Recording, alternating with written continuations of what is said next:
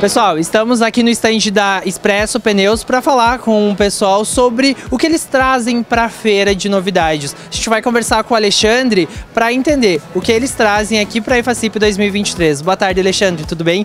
Gostaria que tu comentasse conosco então o que vocês trazem para a EFACIP. Boa tarde, Jair. Tudo legal? A gente está muito feliz de estar participando do EFACIP 2023 por ser uma oportunidade de mostrar para a população de Pinhalzinho e região os diferenciais da Expresso Pneus, tanto com produtos de passeio, produtos de picapes e também agora a nossa nova linha de pneus de carga, trazendo toda a segurança, confiança e garantia para os nossos consumidores. E além disso, também tem a XP Pneus que dá para fazer um balanceamento, uma revisão nos pneus que já tem, né? Exatamente. Hoje a gente consta já com uma unidade em Pinhalzinho.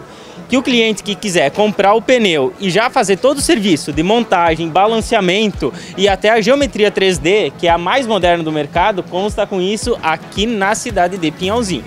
E vocês também trazem então um diferencial para a feira que é um sorteio de pneus. Explica pra gente como que vai funcionar. Legal. Isso para quem estiver visitando a feira, é só chegar no nosso stand, fazer um stories marcando a Express Pneus e a Tire Solutions no Instagram, vai estar tá concorrendo a 500 reais em pneus. Perfeito, pessoal. Dado o recado, então, você que precisa trocar os seus pneus ou precisa adquirir pneus novos, né? Dá uma passadinha aqui na Expresso Pneus, conversa com o Alexandre, conversa com o pessoal, vê as, os, as melhores negociações e também concorra, né, a esse sorteio de 500 reais em pneus.